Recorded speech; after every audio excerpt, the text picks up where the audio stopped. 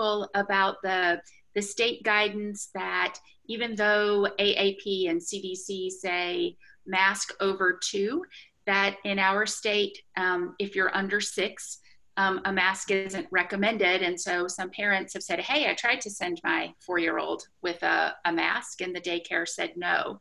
Um, I'm guessing that's just the practicality of keeping a mask on a toddler potentially all day long. And um, the, the teacher might be handling a lot of wet, yucky mask all day long. Yeah, and I, I think the intention um, with that document, and I'm just speculating here because I did not write the document, but um, my interpretation and the guidance that we've continued to provide schools is like we know, like we're not going to come into a class and you know find them because they have a three year old that isn't wearing a mask because you can't keep it on their face but we have encouraged that they continue to encourage mask wearing and it may not be really something you can truly mandate, but we have definitely not said that it is not recommended locally. So we've tried to continue to push that message that I know that it's difficult, but the more these children can wear masks, it probably is going to help reduce the spread. And we know that there's kids that won't be able to,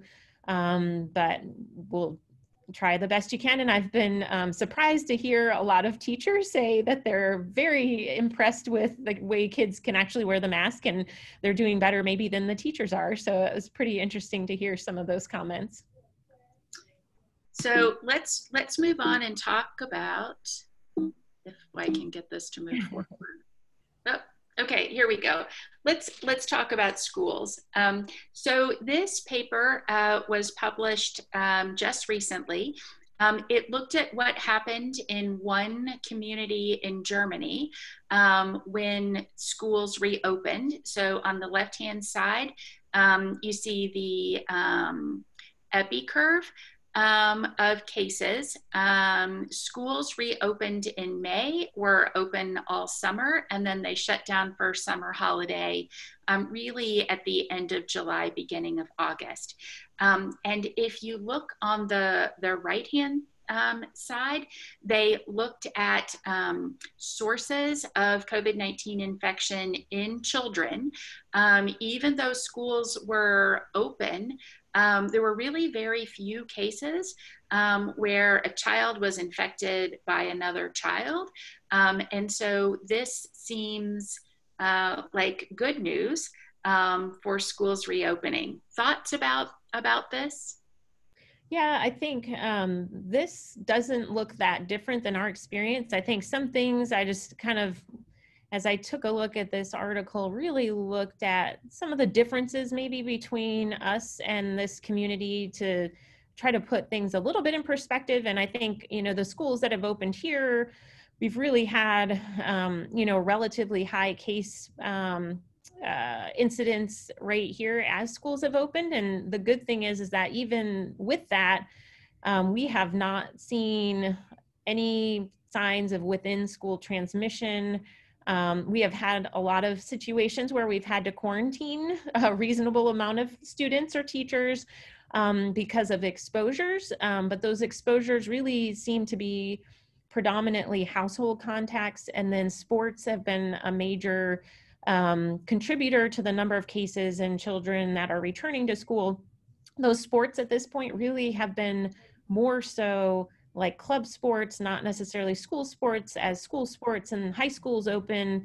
Um, I think we've seen some cases there, but um, but the schools I think are really trying to do a good job with all the preventive measures that they can. So, um, and I know we do have some experience. Um, the Archdiocese in Louisville has been working really hard to keep their schools open, and I think they've um, found that it was a little bit challenging, especially the first few weeks as they had cases that were identified um, and learning the contact tracing process and trying to figure out who needs to be quarantined and who needs to um, who how long people need to stay out of school. And we've tried to help work help them work through that. And i think after that initial um, chaos that um, would make sense anywhere just because it's a new thing for people to do i think they're feeling more confident that the measures that they're putting into place, wearing masks, getting the kids socially distanced, uh, cohorting kids as much as possible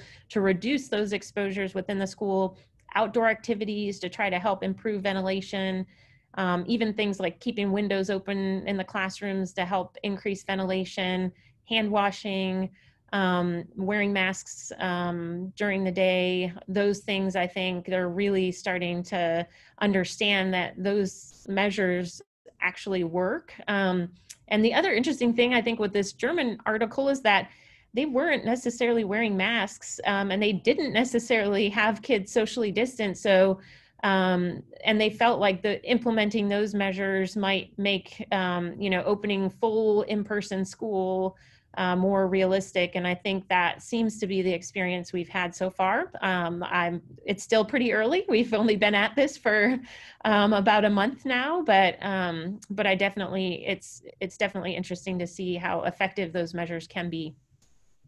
So Catholic schools are open, um, and some private schools are open, but Jefferson County is getting ready. Um, do, do you want to talk about um, this document from the state health department and, and how we'll use this to decide if schools can stay open? Definitely. So there's two documents. So this document, the state health department released um, trying to help provide guidance for how what types of instructions seem to be the most um, pertinent and and um, safe i guess um, depending on how prevalent covid is in the community and if you look at the very top this is including a state positivity rate of less than 6% so positivity rate's a little tricky because it depends on how many positive uh, tests out of how many tests are done. And so, depending on who's getting tested and whether they're sick or not, and many other factors, that positivity rate is not always the best number to go by. But then they also broke it down. You see under the color um, words um, how many cases per 100,000 people, and that's an average daily number. So you'll see the orange. I mentioned the orange at the very beginning. Um, that you know we're right now in the orange at about 18 cases per 100,000 people on average daily and so really making sure that the schools are following these specific guidance um, if we're in that area as far as um, as far as incidence rates go we interestingly we started um, the school started really in that red zone um, and we've still seen the case numbers decline. So that's a positive thing. And I think the the biggest things that the state recognizes is that there's a lot that goes into why kids need school and we want to try to provide in-person opportunities to the kids that need it most um, and so trying to create an environment that the educators feel is safe um, for those students to come back and for their staff to come back is really important um, the CDC has similar guidance that talks about a positivity rate and an incidence rate. And then they also have a portion in their um, recommendations that talk about the mitigation measures that the schools are implementing and how well they're doing that. So, um, so basically, if schools are implementing social distancing, hand washing, mask wearing, um, and really and trying to do all those healthy at school and healthy at work things that we've been talking about for months now. Uh, if they're doing those to absolute fidelity that's going to decrease the risk substantially with kids returning to school and then i think the other thing the cdc has done very well and i'm hoping that a lot of parents and families have accessed this document but they um, put on their website a family decision making document about whether or not it's a good choice for you to send your child back to school. And there's so many factors involved in that from you know the parent has to work in order to make an income to put food on the table and a roof over the he- their head to um, is there someone in the household with a medical problem that if this child does get exposed that that could be detrimental to that family member? So that that um, guidance from the cdc is really i think helpful Um, and I've encouraged schools to share that with parents and families who are struggling to make the decision on whether or not they would want to send their kid back to in person school or whether they don't feel comfortable with that and kind of being able to know that they're making those decisions based off of all of the factors that they should be thinking of and not just one or two. So, and some of those factors include, you know, how much does this child need to be in person to learn? And that that learning impacts them for the rest of their life potentially depending on the age that they are and how well they can learn by non-traditional methods. Yeah it, it's a tough decision and i suspect that even families who are really committed to in-person learning um, might be nervous um, and wonder so okay now that we're open how are how are things going? Um, I, I heard about about this report on the, the state call earlier this week. Um, so there's a state webpage um, where K through 12 schools will report their own data. Um, and this should be readily available to the public, right? Correct. And I think the state is trying to transition to where the schools directly report. Basically, this data will go into the database that will show up on the website. What happens now is they report to us, we report to the state, and so this that document that this right here you'll see um, these numbers and i think we have 100 calls a day from media and different schools saying that's not right. Those numbers are wrong. And um, and it's just because there's a delay in that. So these numbers should be more accurate um, in coming days. Um, I know IT always takes a few um, weeks to smooth out the kinks when they first start things like this. So I would guess that there might be some um, you know, I might wait a few weeks before you really rely on this for any sort of uh, uh, factual information, but hopefully, um, I think we've done a similar, the state's done similar reporting with long term care facilities. Um, and so hopefully um, the process won't take too long to, to work out. And then we are trying to work locally to create a database um, that schools can report into so that we have more tangible local data and aren't waiting for that data to come back from the state so we can help the local facilities make more um, in time, uh, real time decisions um, about closures or other things. Um, and then our hope is that that database will be able to feed into the state's reporting to help reduce the workload on everyone. Um, duplicate reporting is a painful part of, uh, of uh, disease surveillance. And so whenever we can take those extra steps out, it always makes people a lot more willing to comply. So. Well, thank you. Thank you for that. I suspect people are squinting at their computer screens, trying to scroll down to um, the Diocese of Louisville and looking at the number of cases. Um, I, I, I just want to emphasize that what I think is correct that when we say there have been 82 cases, that's not to say 82 cases of kids who were infected at school just in school attendees who were ultimately diagnosed.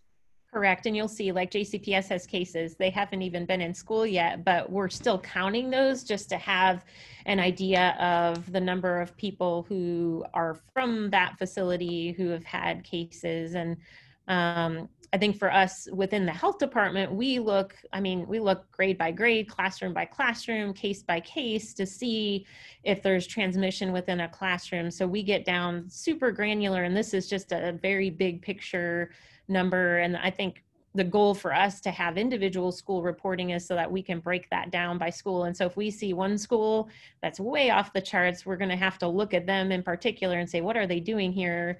that's not going so well and, and really focus our efforts on prevention in in that location so so you know as i look at these if we look over at the far right the number of deaths um, no deaths and so that's really encouraging um, you sent me this article that was really just published in the MMWR that looked at COVID 19 associated deaths um, in in children, at least those less than 21 years of age. What what do you want our audience to take from this today? Yeah, I think the biggest things is that we have not seen a lot of deaths in younger individuals. The deaths that we have seen have been in what seemed to be relatively young, like infant age, and then older, um, like older adolescents. But I also want to point out that I think a large, large um, proportion of those who have been impacted by deaths have been those who are also impacted by social determinants of health that we see every day in our clinic. So um, I think 70 or 75% of the cases were in um, Hispanic um, Hispanic populations and non-Hispanic Black populations, as well as like Native Americans um, or Alaskan Natives. And so, just you know, reiterating, I know you all know this, you see it every day in your clinics, but um, the children who have you know parents who are essential workers who aren't protected by family medical leave laws and have to go to work every day. Children who live in um, crowded settings um, children who are already at educational um, and health related disadvantages um, those are the ones who are being the most impacted by um, by death and then i would even say by severity of disease as well. And so um, we have really tried to focus our testing efforts and opportunities and tried to focus some efforts on education in some of those communities here in Louisville. And I think we've seen some lower numbers of cases in general compared to some places elsewhere in this in this um, country. But um, but I think that that's really important to point out so people are aware. You know, when, when I saw this, I thought, um, wow, the, the number of deaths that we've had thus far among kids from COVID 19 really approaches the number of deaths in kids that we have from flu every year. Um, and so, you know, early on, the message was kids aren't as affected as adults, kids don't get very sick. Um, and so I think this is data that, well, some kids get very sick. Um, and there are kids who are dying. And um, again, not not a lot, not most, um, but we look at these numbers with flu and we say this is important. We need to prevent this. Um, the the other thing that I thought was striking from this were the out of hospital deaths. So um, what 35 ish um, percent of the deaths occurred out of hospital. Um, and you know, we I think we think about young children who um, get a respiratory infection and um, die at home. But but some of these deaths, as you see, were in teenagers, um, and and so there just wasn't a realization that they were sick. I think. Yeah, and I think. Um, you know, to me, are those kids who are maybe being left at home because they're old enough to stay alone and they're sicker than their parents realize. It's hard to really know for sure um, and I think they're going to be focusing on trying to figure that out. And then the other thing that struck me too, kind of in association with this, is how quickly kids seem to get sick. So from the onset of symptoms to death was pretty quick, and um, and I feel like on in a gestalt that with adults it tends to be much longer, a, a more protracted um, situation where it might be several weeks after they first develop symptoms that you know they're on, in the ICU, but for kids, it's a lot quicker decline, it seems like. Well, and, and we should probably point out that I think this report lumped acute COVID and uh, multi-system inflammatory syndrome. Um, and we we're, we're learning a lot more about myocarditis after COVID and myocarditis in children. Um, so I'm hoping future future papers will tease that out. Um, you know, I, I, wonder if we should talk for just a minute about the, these recommendations from the KMA Committee on Sports Medicine, um, recognizing that um, myocarditis after COVID 19 is a real thing. It's a real thing in children. So, um, you, know, I think we can all appreciate that if you have severe symptoms, um, that you need to be um, potentially have some cardiac evaluation by a care doctor or if if it's thought to be best by a cardiologist. Um, but but i was struck by the the uh, left hand column asymptomatic since laboratory diagnosis. Um, no exercise for 14 days after positive test medical evaluation that includes a thorough symptom screen focusing on um, signs that might might point to cardiac or systemic illness, um, and then considering an EKG, an echocardiogram, and a troponin. Yeah.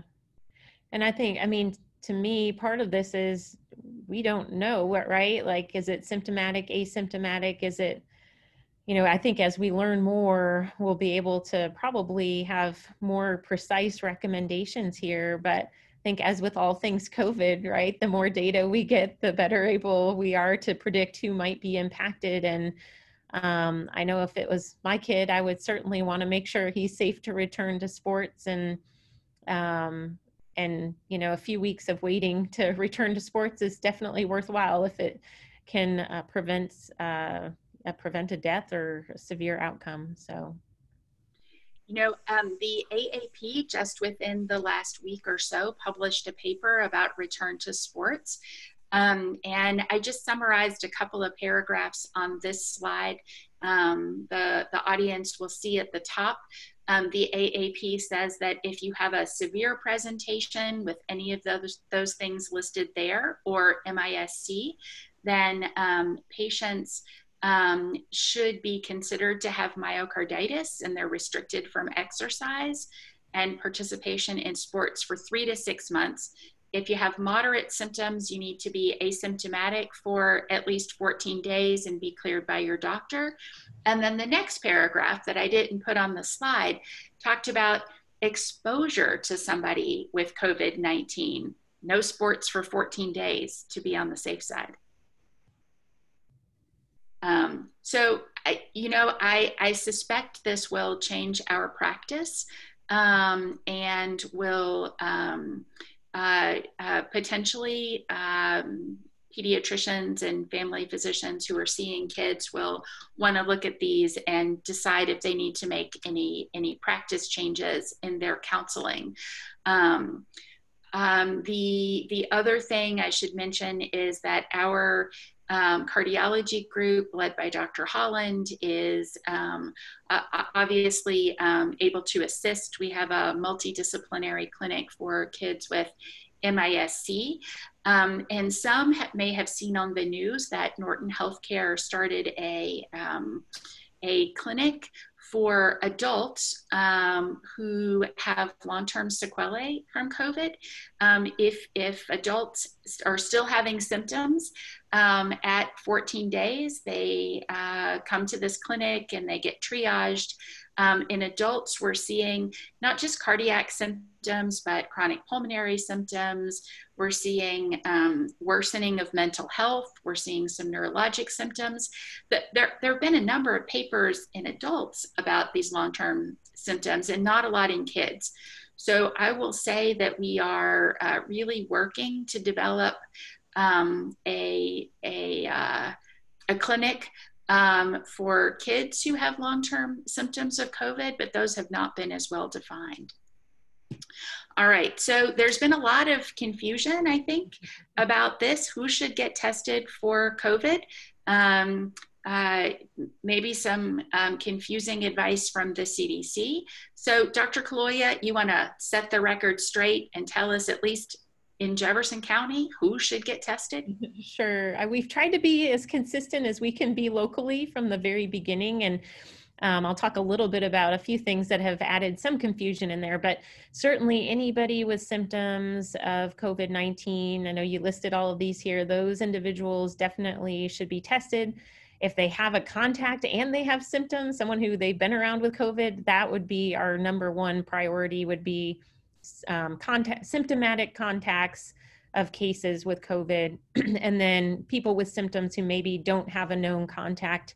Um, and then other um, individuals that might be asymptomatic um, would be those who have a recent exposure. I think there's a lot of confusion around this um, as far as we you can test someone if they've been a contact of a case the test being negative does not mean that they shouldn't be quarantined for 14 days like we recommend um, but um, but it definitely helps to set some people's minds at ease initially.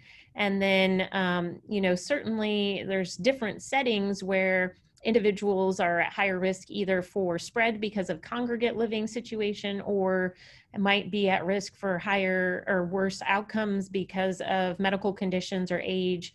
And so we have done a lot of screening in our long term care facilities, for example, our jails. Um, those have definitely been settings where we maybe have screened asymptomatic people who where we know there have been other cases to try to catch them early and be aware so that we can respond quickly if they do develop symptoms.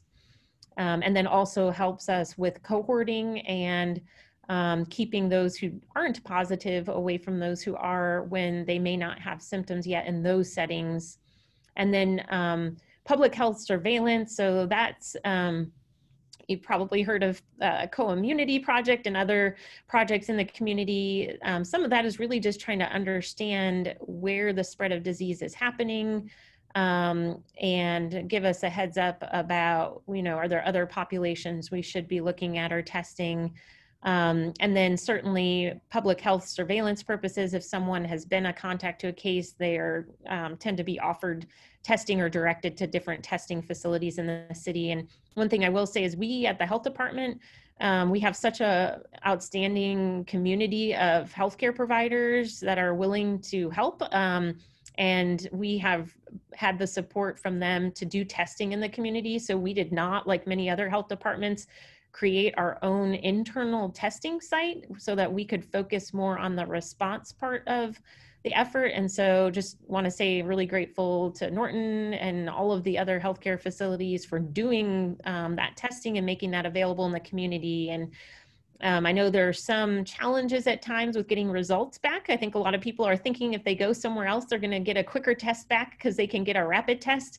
But what I've found is, especially in the last month or so, we have pretty rapid results locally. So um, so if you're trying to send people to other counties to get tested, it may be just as quick to send them to one of our local sites. And our health department website has um, regularly updated um, uh, testing sites on there. So if we get a new site or if an old site drops off, then we are updating that on a regular basis. So.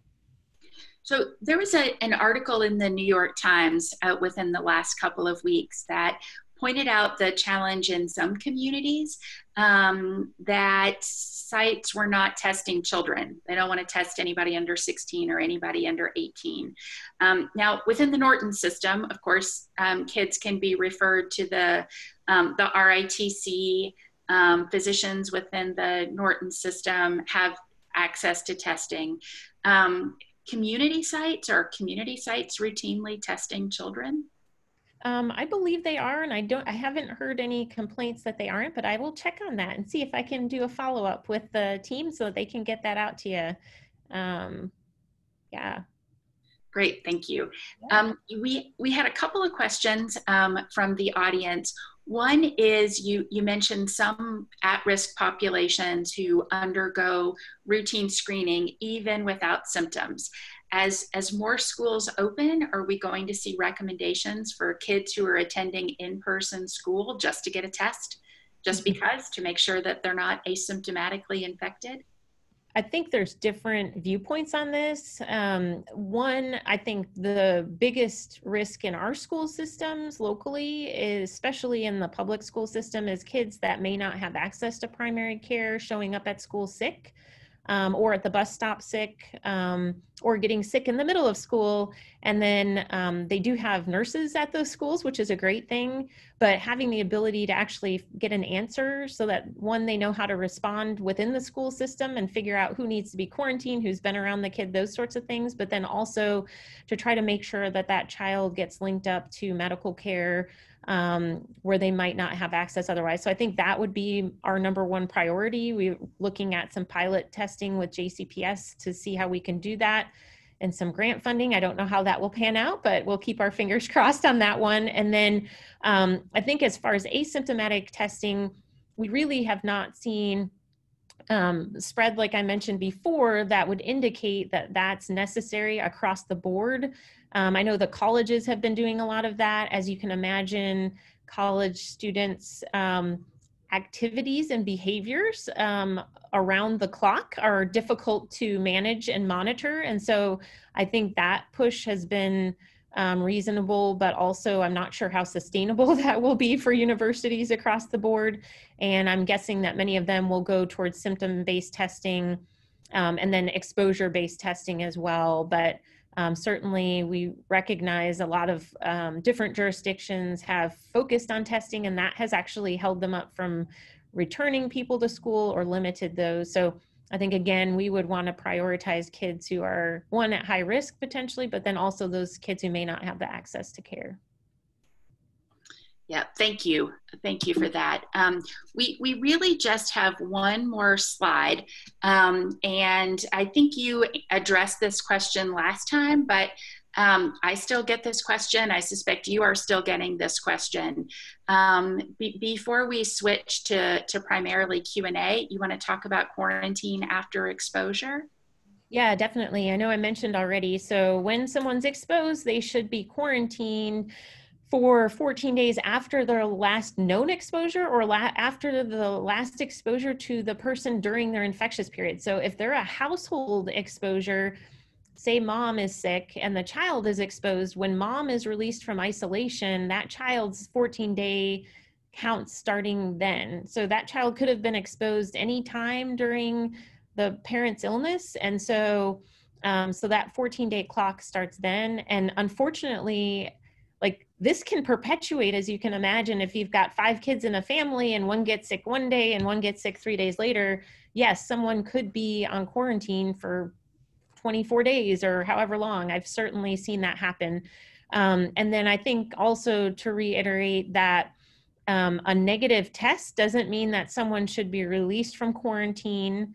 Um, if it has not been 14 days since their last exposure, the negative test is great and very reassuring, but that is not a red, you know, it's not a, you know, return, get out of jail uh, free card or return to school card it still means that they need to quarantine. It just means so far they haven't come down with the infection. Um, and it's kind of what I would say almost like a bell shape or similar to that curve as far as when people will come down with the infection. And there are still a portion of people who will get sick towards the later part of their quarantine. So just that's the reasoning behind that. Um, it really is helpful if providers help to reinforce that um, because a lot of times the the families think as soon as they get a test back that's negative, they can just send their kid back to school. And then those are often the kids that a few days later are um, are, are cases that were quarantining their um, nearest uh, classmates in the classroom. So, so testing after exposure, I've heard that um, uh, you don't want to test too soon. So, day five plus, maybe day five to day 12, if you have no symptoms. Um, I, I've heard some people translate that to okay, now I'm sick, I have COVID, um, but I shouldn't get tested until I've been sick for five days. Um, so, uh, you get sick, you should be tested, correct? Yeah. So if you get sick, um, that you definitely, and that is certainly you want to get tested, and then that changes the whole scenario. If you're now a case, then then we look at isolation and, and release from isolation rather than quarantine. So definitely, um, if you're if the contact to a case is sick, test them right off the bat, and then yeah, there's um, you know we've done a few different things depending on the setting but about three to five days is kind of the earliest that makes sense to test if someone's asymptomatic in a contact to a case. And then you know in in congregate settings we've done testing every week uh, five to seven days until we don't see cases um, and that's a, you know obviously a special situation. But you know if people really want to make sure that they're negative before they go back to school then test them on day 14 if they've remained asymptomatic. But um, you know it doesn't make sense to test them every day at this point, not with the um, the, the resources that we have unfortunately. There's people out there that say we should test everyone every day and that would be lovely but i don't think we're quite there yet so. So um, you know we um, talked a little bit about this last time and, and i think i've gotten this question several times because it really is a, a challenge for um, people on the front line. The comment is it it, it doesn't seem feasible in primary care peds to test all patients with all of these symptoms because we see viral GE and strep and um, we're going to start seeing RSV. So, um, any secondary recommendations on testing sick patients without known exposure? Um, a, a, a, a, companion question to this is some schools and daycares really want a negative test um, before they'll let a kid come back. Yeah, and we've discouraged, I think um, the state's most recent guidelines as far as return um, has really discouraged um, retesting. What we've seen is so many people are positive for so long, and it doesn't necessarily mean that they are infectious still. And so they're really discouraging retesting within 90 days of the original test. There's some exceptions to that. We've seen some cases where people have developed new symptoms after they think they may have been re exposed, and that's kind of in its own unique um, scenario. But the state's recommendations is really um, pushed away from retesting and someone who we know is positive already. And the health department will release someone from quarantine or sorry, from isolation if they are sick um, once they meet the release from isolation criteria. So um, you can always contact us if you're not sure. Um, I did, didn't bring it or, or have it to share, but on our website, we do have like a helpline that you can call. Um, Lacuna Health is helping us with some of those calls and they would know those um, they'd be able to check to see if your patient can be released from isolation or when they were or, or will be if they continue to do well um, and then i would say i think um, you know i know an article i read said um, fever sore throat and headache um, have been some of the more common symptoms. Uh, I don't know that the N was very high in that article to be able to say that across the board, those are things that you should consider. And I think JAMA had a recent commentary about, you know, when things ended as far as flu season last year, we really didn't have enough data to be able to say, you know, definitively if you have a positive flu test you don't have covid or you know where do you go with testing next? And i think right now we know covid is very prevalent so that would certainly be one of the top things that would be on my differential as far as testing first before i rule something else out. But i also know especially with kids back in school that we're going to see strep and viral ge and we're going to see flu um, soon as well. And so you know, I think just continuing to monitor what those um, look like in the community, and um, I think testing those that um, that that are most likely at the time would would help you not have to do every test there is on every patient that comes in your office. Yeah, um, I it's it's good news that people no longer need to have a negative test once they've been positive.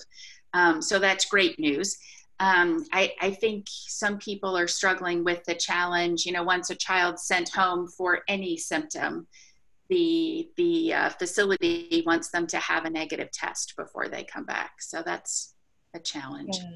Yeah. Um, yeah, and I know with schools that has been a challenge too, just because a lot of time, I mean, I know in childcare facilities, they're not medical personnel. And so they really feel uncomfortable letting someone in. But um, I know you provided some good recommendations last time, Dr. Bryant, um, about um, allowance back in. I think KDE had provided some guidance on that, if I recall. Um, so, so we can share potentially share the the daycare guidance again to the attendees if they'd like that. Um, um, and um, Washington University, I think, has developed some algorithms that they've used in their community about testing. But if the facility says you have to have a test, you pretty much have to have a test. Um, we had a question about our rapid test that can do flu A, B, and COVID 19 as accurate as the current gold standard RT PCR done in the Norton healthcare environment?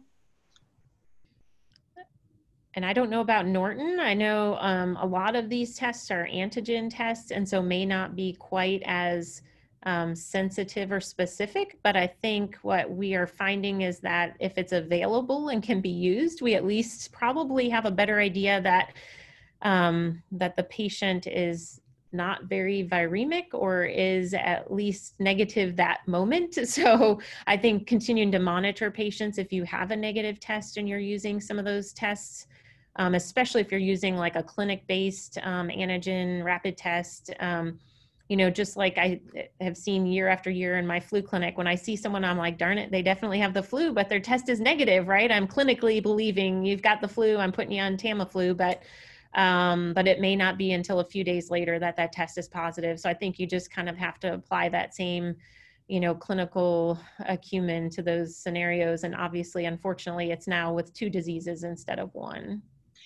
My, understanding is that Norton will um, have a combo test for flu and COVID 19